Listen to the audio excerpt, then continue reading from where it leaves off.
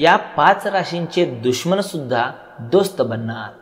तुमची प्रत्येक गोष्ट सुद्धा ऐकणार. मित्रांनो आज आम्ही तुम्हास ज्योतिषशास्त्रानुसार अशा पाच राशीबद्दल सांगणार आहोत की जे तुमचे दोस्त बनू शकतील.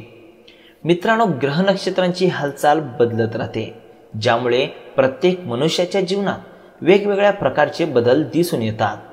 ज्योतिषशास्त्र असे म्हटले आहे की जर एखाद्या व्यक्तीच्या राशीत ग्रह आणि नक्षत्रांची हालचाल योग्य असेल तर आयुष्यात आनंददायी परिणाम मिळतात.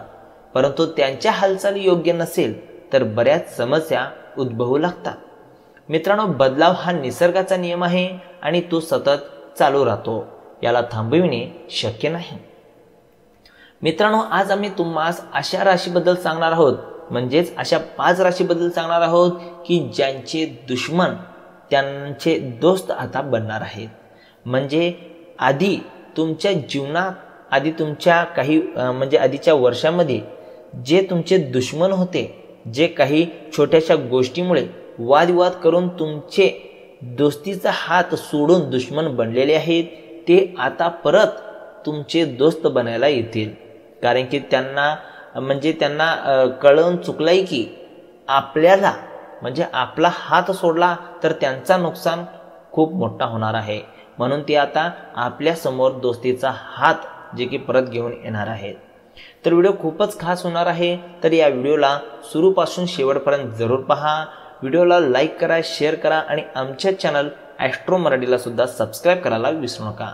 तसेच स्वामी समर्थ महाराजांचा आशीर्वाद पाहिजे असेल तर कमेंटमध्ये जय स्वामी समर्थ महाराज लिहायला विसरू नका. तर चला मग जाणून घेऊया विस्तारमध्ये. मित्रांनो यामधील सर्वप्रथम जी भाग्यवान राशी आहे ती आहे मिथुन राशी. मित्रांनो मुलामुळे आपला संध्याकाळ खूपच चांगला राहील. रटाळ कंटाळण्या त्रासदायक दिवसाचा निरोप घेण्यासाठी रात्रीच्या जेवणाचा मस्तपैकी प्लॅन करा. मुलांच्या सहवासात तुम्ही आणखीन उल्हासित व्हा. म्हणजे मुलांसोबत खेळणे मुलांसोबत आपला आपले जे टाईम आहे त्याला स्पेंड करणे याने आपला मन उल्हासित होईल आपण तरे ताजा महसूस करू शकता. पैशाची कमतरता घरात कलहाचे कारण बनू शकते. आपल्याला तर माहिती आहे पैशाविनाचा एकही गोष्ट पुरी होत नाही. प्रत्येक गोष्टीत पैसा लागतोच. पैसा नसेल तर घरामध्ये जे की वादविवाद प्रॉब्लेम्स भांडणे छोटी मोठी होऊ शकतात. अशा स्थितीमध्ये आपल्या घरातील लोकांसोबत विचारपूर्वक बोला आणि त्यांचा सल्ला घ्या. की सल्ला अशा प्रकारे असू शकतो की आपण कशा प्रकारे आणखी जास्त पैसे कमवू शकता कशा प्रकारे आपला फिजूल खर्ची आपण थांबवू शकता म्हणजे अशा प्रकारचे सल्ला तुम्ही आपल्या पारिवारिक लोकांपासून घेऊ शकता. एखाद्या धार्मिक स्थळी किंवा एखाद्या नातेवाईकाच्या घरी जाण्याचा विचार पुढे येईल. प्रेमीला तुमच्या कुठल्या गोष्टीचे वाईट वाटू शकते. ते तुमच्याशी नाराज होतील. त्यांच्या आधीच आपली चूक मान्य करा आणि त्यांची मनधरणी करा. म्हणजे ते म्हणजे रुसवा रुसवीचा हा खेळ चालू होईल. म्हणजे तुमची प्रियसी तुमच्यावर रोसून बसेल त्या आधीच त्यांना आपली गोष्ट मान्य करा. म्हणजे आपली चूक मान्य करा.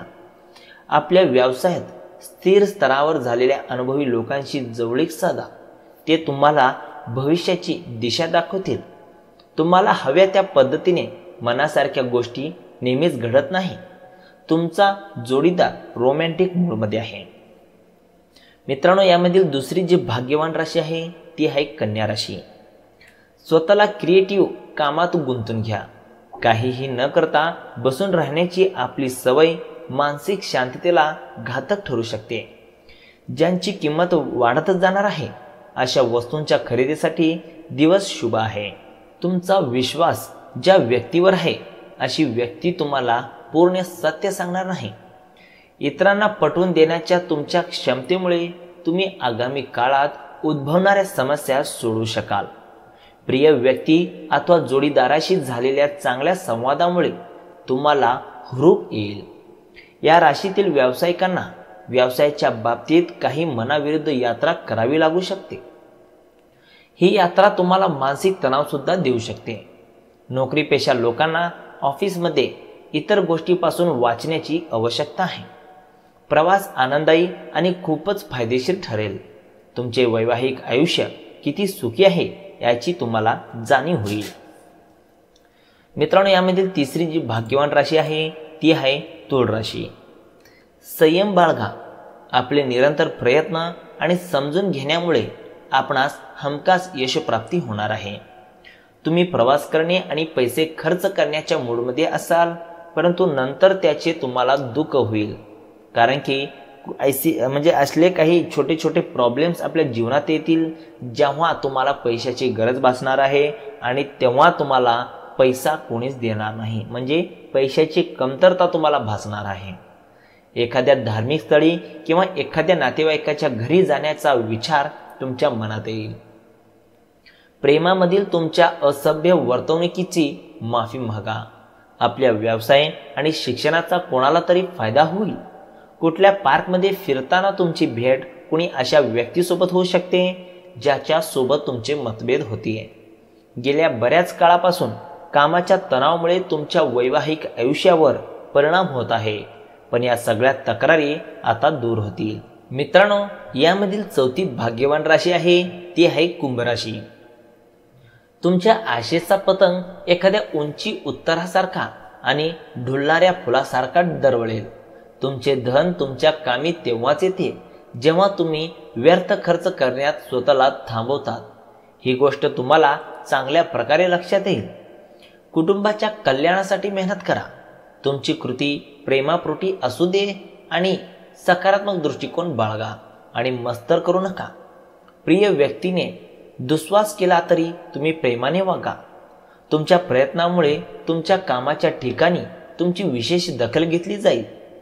तुम्हाला आपल्या सासरच्या पक्षाकडून काही वाईट वार्ता मिळू शकते ज्या कारणाने तुमचे मन दुखी होईल आणि तुम्ही बऱ्याच काळ विचार करण्यात घालू शकता.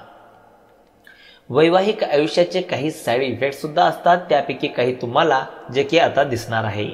मित्रांनो यामधील पाचवी भाग्यवान राशी आहे ती आहे मीन राशी. शक्य असेल तर लांबचा प्रवास टाळणेच चांगले. अशा प्रवासासाठी तुम्ही कमकुवत आहात. त्यामुळे हा प्रवास तुम्हाला आणखीनच कमकुवत बनवेल. दिवसाच्या उत्तरार्धात आर्थिक स्थिती सुधारेल.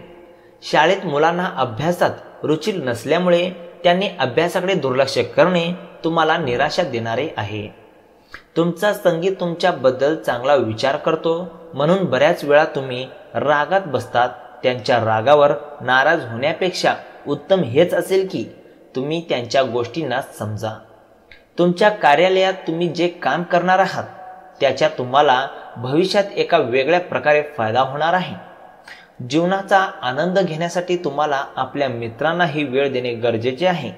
जर तुम्ही समाजापासून दूर राहाल तर गरज पाडल्यास तुमच्यासोबतही कोणीच नसेल.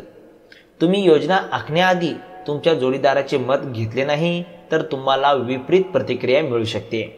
तर मित्रांनो आजच्या व्हिडिओमध्ये आपण खूप काही जाणून घेतलात. रोजच अशा प्रकारे राशीफळ जाणून घेण्यासाठी आमच्या चॅनलला सबस्क्राईब करा आणि व्हिडिओला लाईक करा शेअर करा. तर चला मग भेटूया नव्या व्हिडिओसोबत धन्यवाद.